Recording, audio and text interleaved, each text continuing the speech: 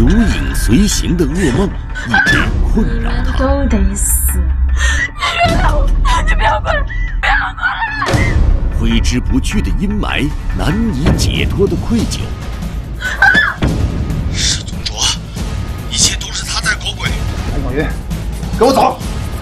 别走，你走不走？魔法栏目剧周末重剧场《死亡名单》上集正在播出。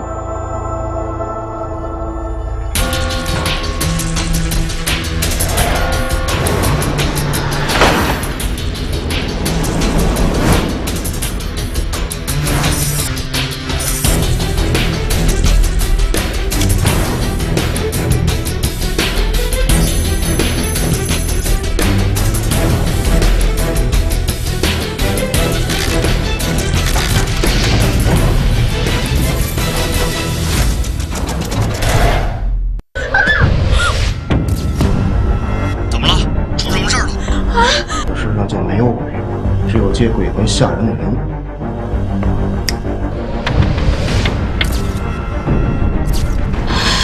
老子我他妈打死你！我一刻都不想看见你。小云，我每天都在想你。他只能逆来顺受。让我怎么走都答应你。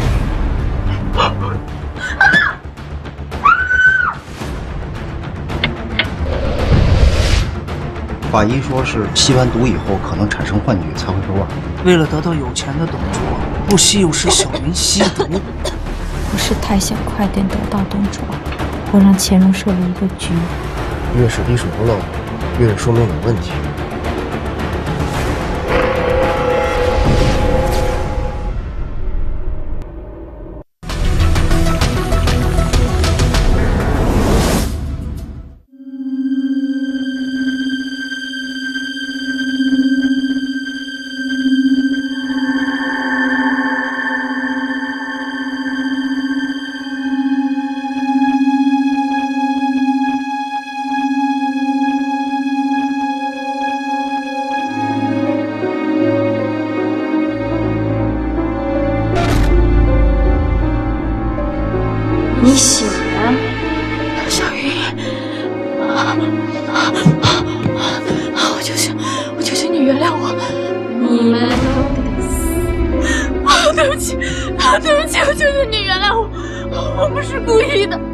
过来，不要过来，我要你们来陪我。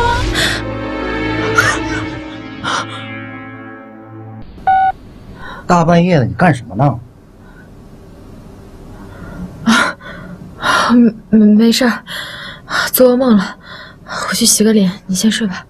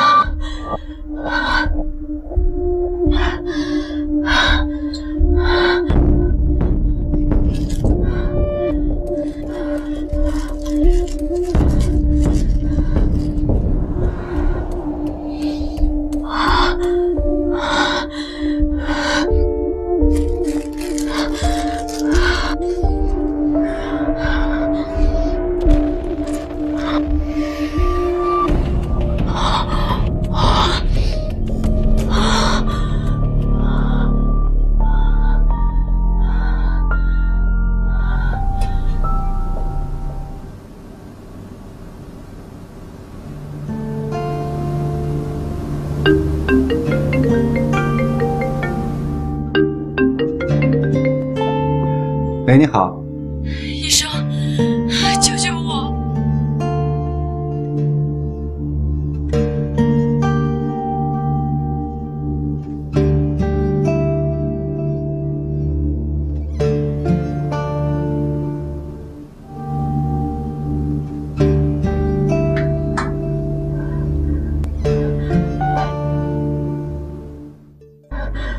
医生，你救救我！我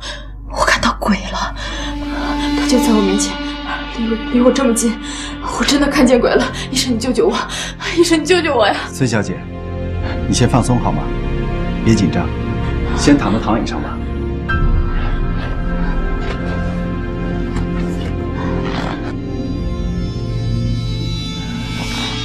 集中你的注意力，看看，深呼吸。上你的眼睛。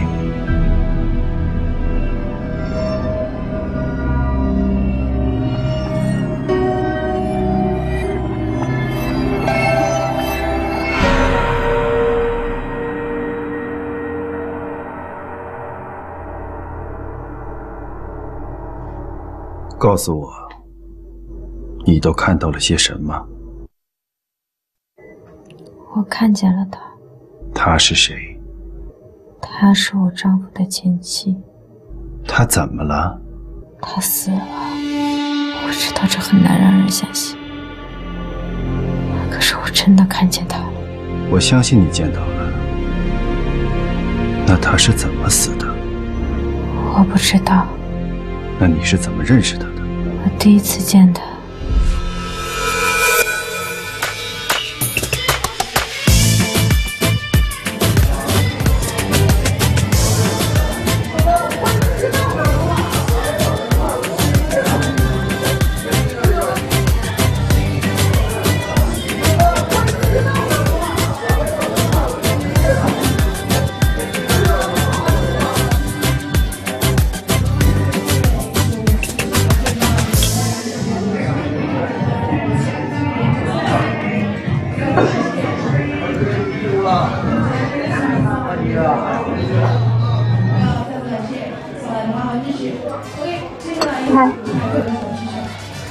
一个人吗？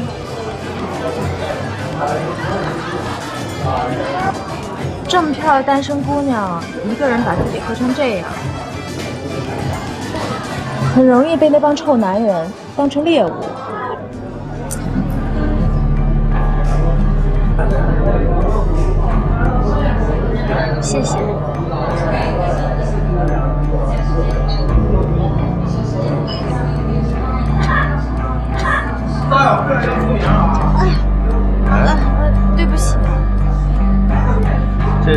起多来几次我也无所谓。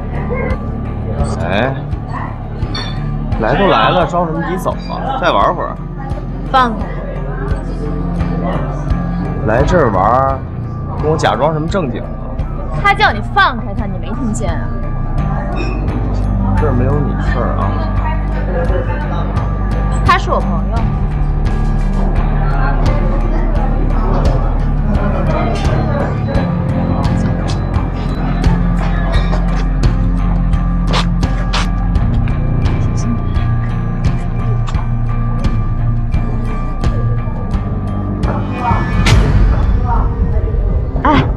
你都这样了，还能开车吗？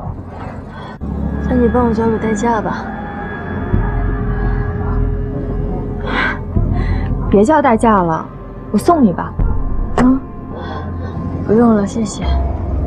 你看看，你都喝成这样了，你要是再碰到刚才那样的臭男人，可怎么办呀？那麻烦你了。没事。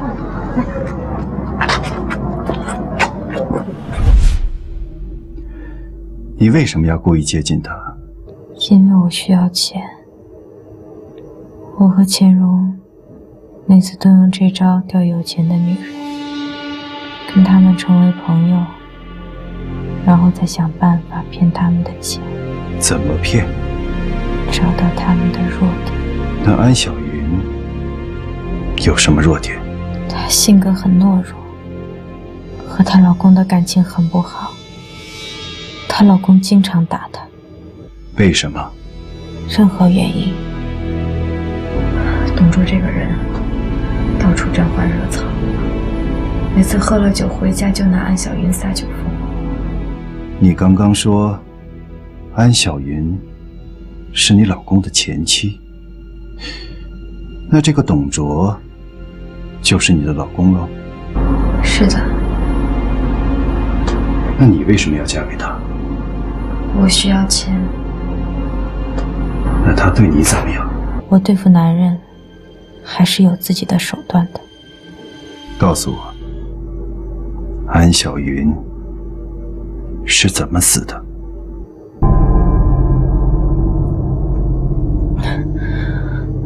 我我我不知道，他他他是自杀的。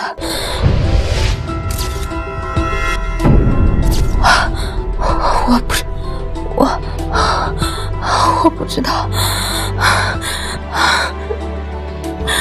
我我。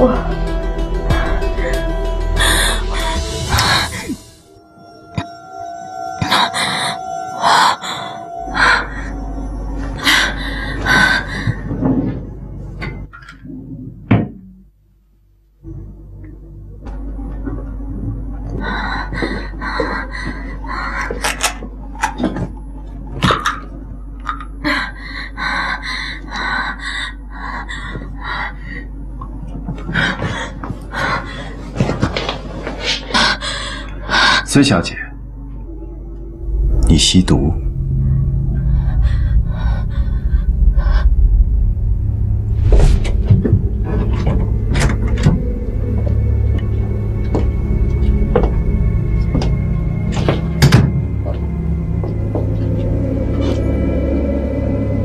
我的货呢？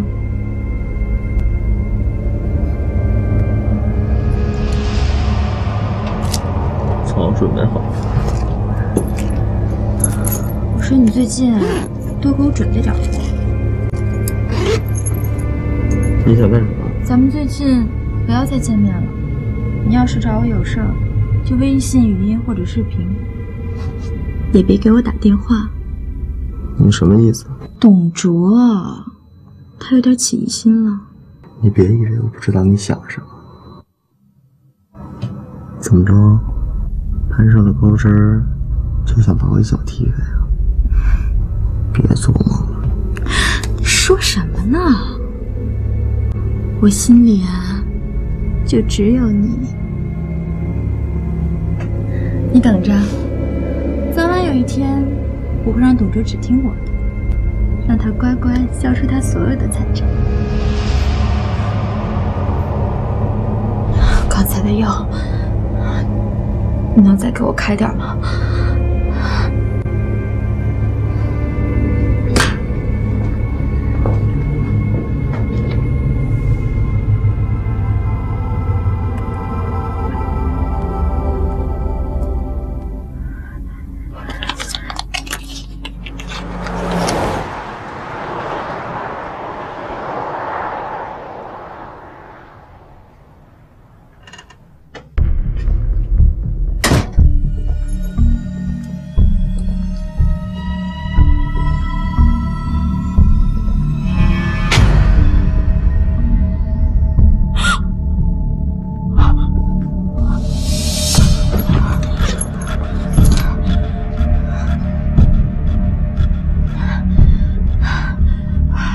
在哪儿？公司，还能在哪儿？你刚才回家了吗？我上班呢，怎么可能回家？啊？怎么了？没事没事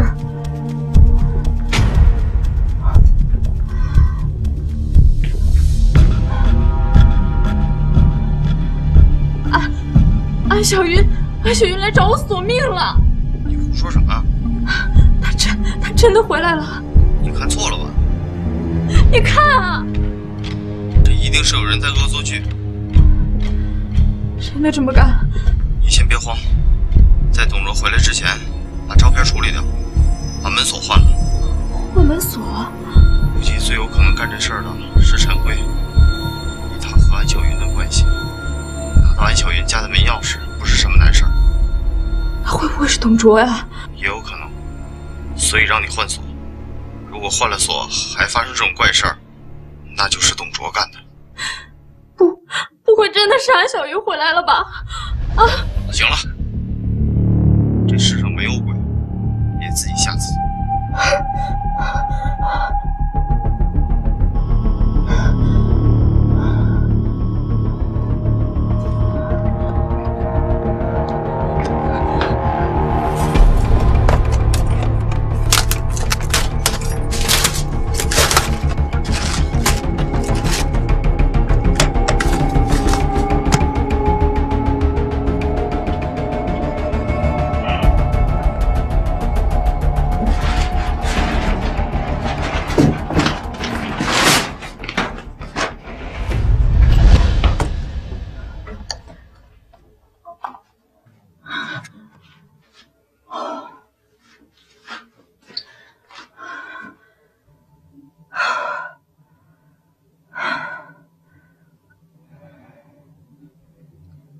喂，是换锁公司吗？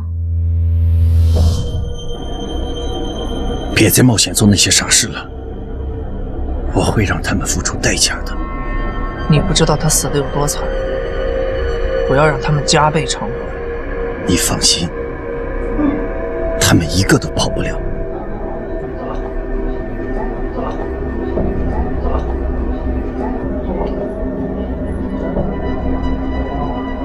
钱荣来了，你先走。记住，别轻举妄动。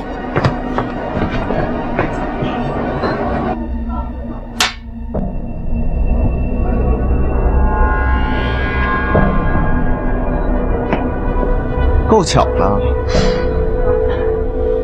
是你干的吗？我不知道你在说什么。我警告你，想报复，冲我来！报警还是单挑，黑道还是白道，老子我都陪着你。别他妈冲个娘们使劲，让老子瞧不起你啊！白小明的味道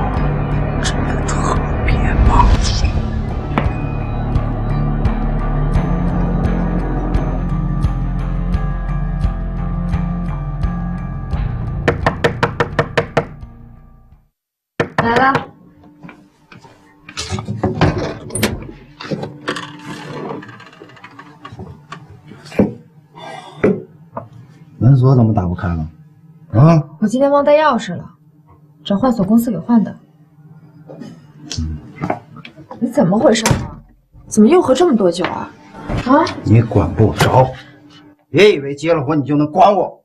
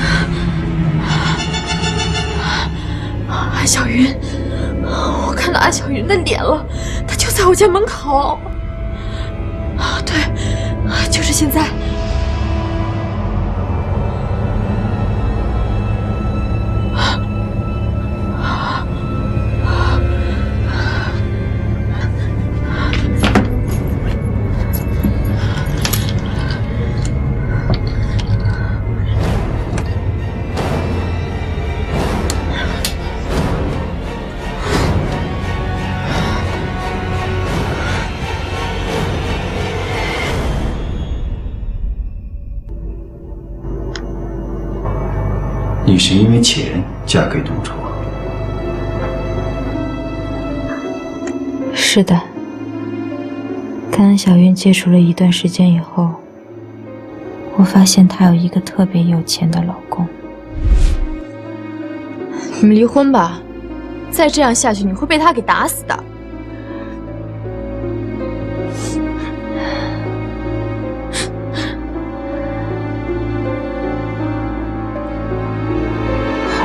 知道，原来董卓一直对安小云有心结，他认为安小云从来就没有爱过他。他到底为什么要打你啊？他知道陈辉回来了，陈辉就是你的初恋男友，他想跟你重归于好。那你是怎么想的？我不知道，我没脸面对他。这话怎么说？他因为我才出了事，可是我却没有等他，而是嫁给了董卓。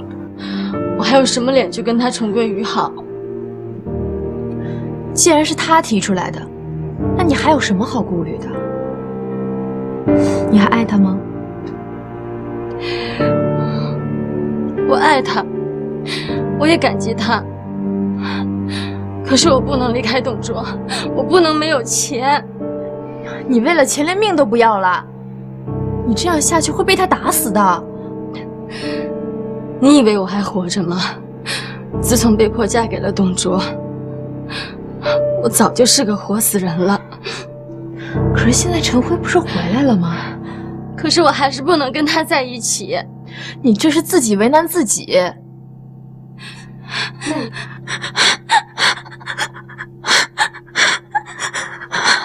你怎么抖得这么厉害啊？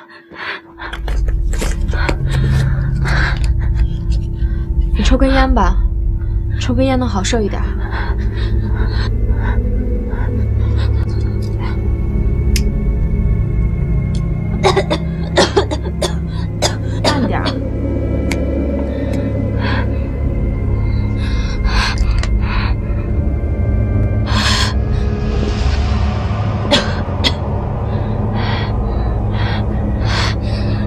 真不错，还有吗？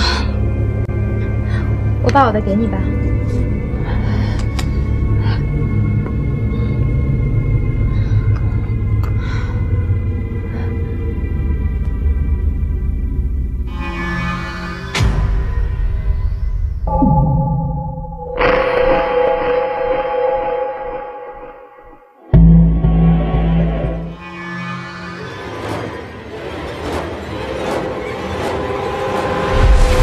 你诱骗他吸毒，只是掺了一点点。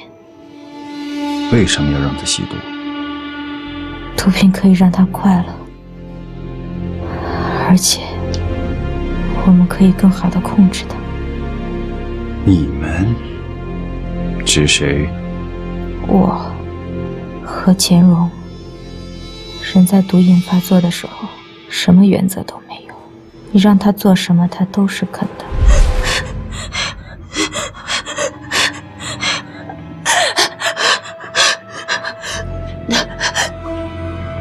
你的朋友怎么还不来？别急啊，就快到了。你你再打电话催催。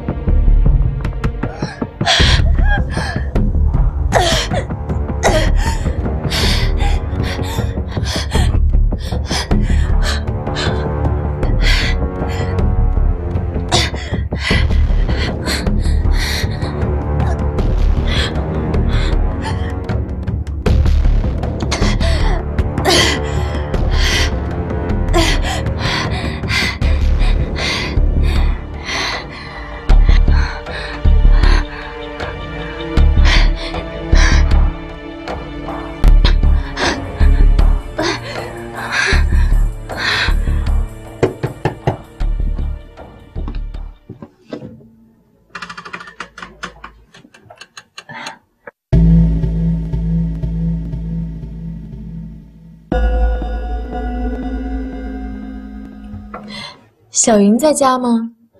哦，真不巧，她不在。哦，我本来是想请她喝一杯的，那她不在，就算了。哎，既然来了，就进来坐坐吧，没准她一会儿就回来了。那好呀。你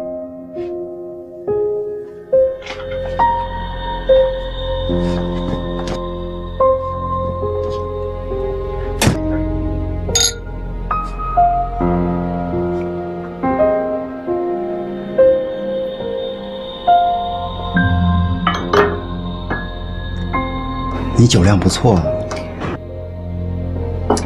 你酒量也不错啊。来，再喝一杯。你喝多了吧？我得走了。别呀，要是让小云知道我没有好好招待她的朋友，她会不高兴的。你别这样，要是让小云看见了，她也会不高兴的。那回来又能怎么样？他只能逆来顺受。所以，你为了绑住董卓这棵摇钱树，不惜毁掉安小云。我是太想快点得到董卓，所以呢？所以，我让钱荣设了一个局。当天晚上，钱荣和安小云在宾馆办完事情以后，钱荣就拿着安小云的手机。给陈辉发了一条消息，把他诱骗到宾馆。后来，董卓在宾馆把安小云和陈辉捉奸在床。安小云回到家里以后，没过几天，就听说他自杀了。所以最近，你经常看见安小云的鬼魂来向你索命。这不关我的事儿，不是我杀他，他是自杀的，他是自杀的，这不关我的事儿。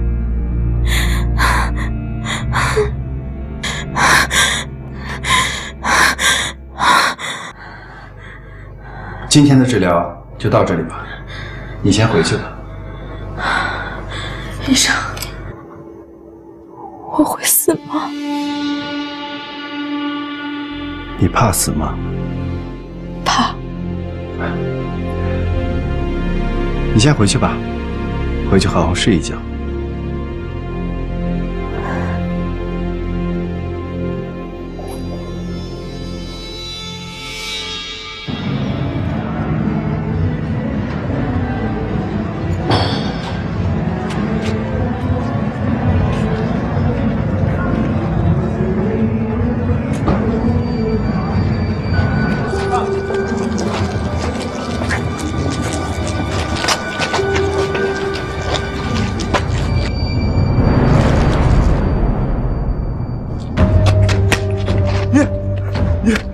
你别过来，你别过来！我错了，你别来，你别过来！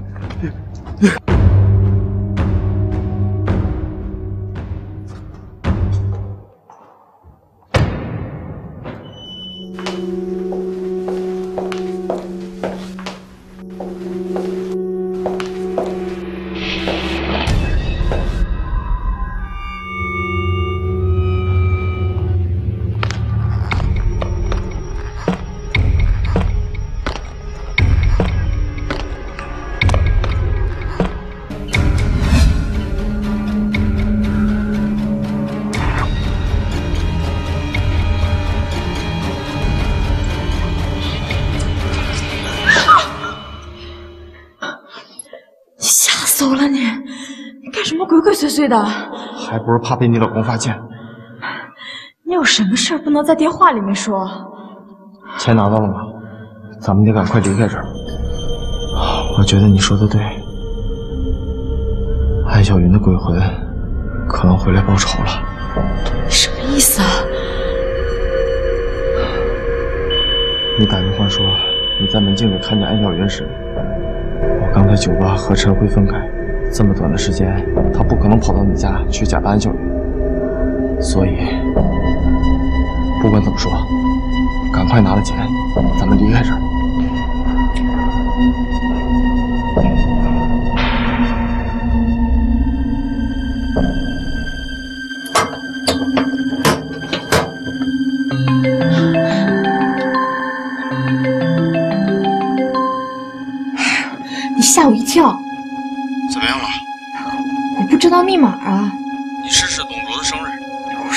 了，不对。安小云的生日。我也试过了。他们的结婚纪念日。我试一下。不行啊，打不开。你的生日。不可能啊！你试试。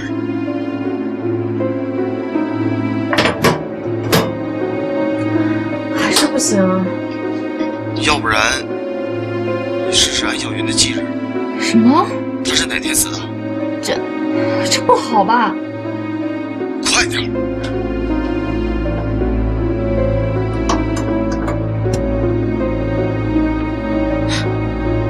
开了。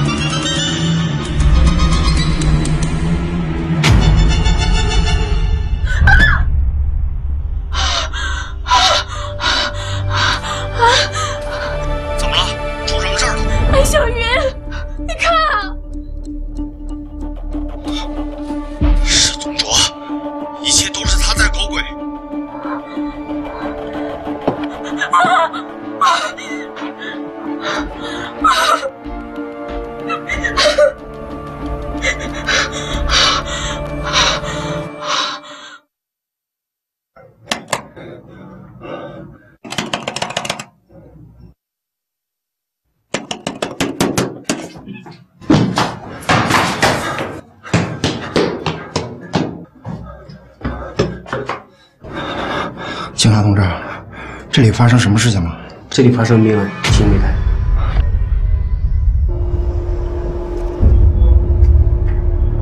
谁是安小云？她是我前妻。她死了？对，自杀。这是什么时候的事？半年前。那保险柜里的遗像是安小云吗？什什什么保险柜里的遗像？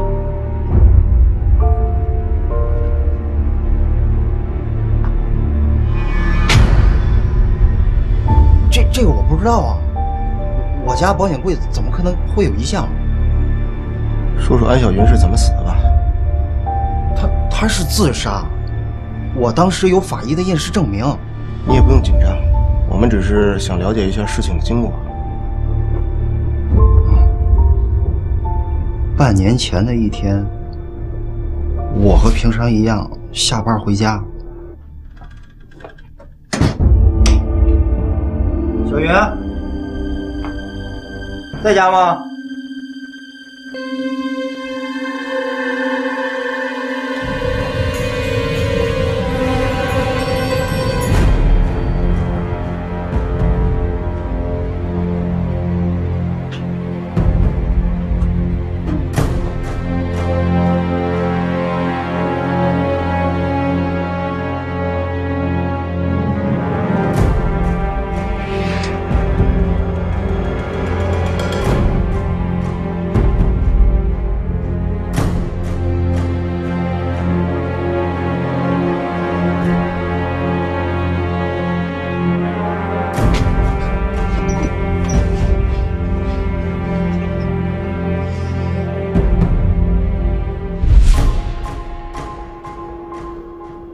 安小云为什么自杀？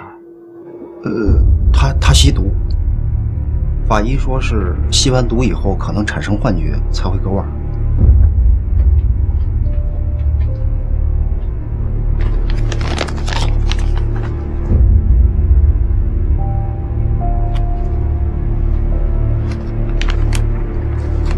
这个是从你家厕所里搜出来的毒品。毒品？那那可能是我前妻安小云。这是刚刚吸毒过残留下来的。你说什么？孙玲也吸毒？孙玲吸不吸毒，到时候法医会给我们答案。现在需要对你也做一个检测。检检测我？请你配合。检测完，证实你没事儿。你就可以走了，不过暂时不能离开本市。啊，走吧。啊。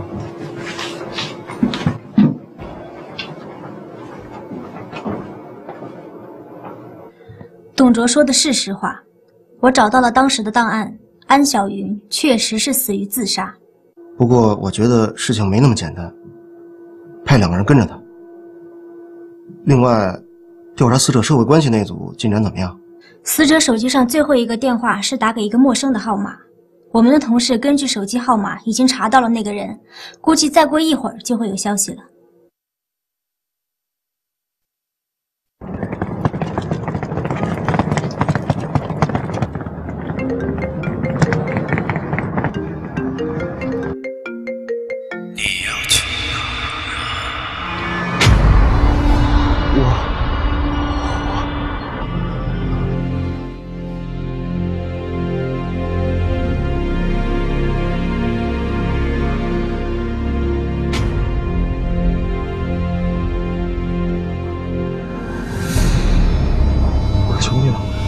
你让我做的我都做了，你别再跟着我了，我错了，你饶了我吧，放过我吧。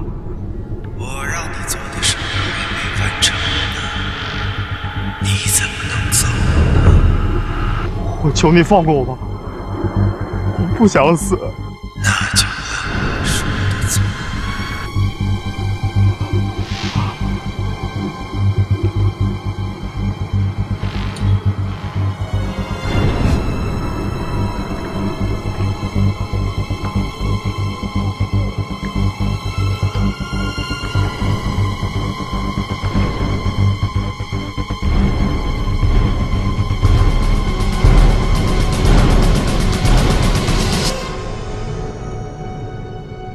今天下午一点到四点你在哪儿？在家睡觉。在这之间有没有接过什么电话？接到过孙玲的电话。你和孙玲是什么关系？没关系。那孙玲都跟你说了什么？向我道歉，说是他害死的安小云，他的报应来了。他和安小云是怎么回事？这个女人为了得到有钱的董卓，不惜诱使小云吸毒。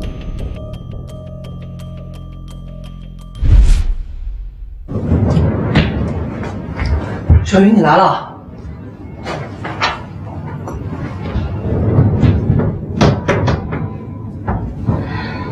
你今天过生日，我特地订了这家饭店，快坐。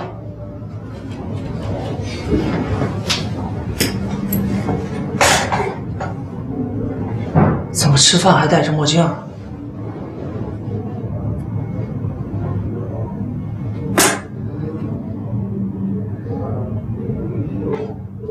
他又打你了？这个畜生，我找他去！哎，你别去！